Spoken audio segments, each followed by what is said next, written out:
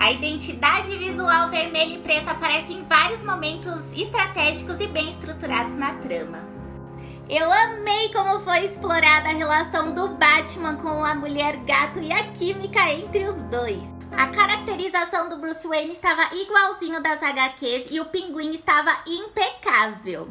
O vilão Charada brilhou muito, ações muito realistas e trouxe aquele gancho do Batman detetive que eu esperava. E aquele mistério, quem é o Charada? As cenas de ação pareciam a versão live action da trilogia dos games do Batman Arkham, que é a minha favorita. Então estava tudo muito polido e nada forçado.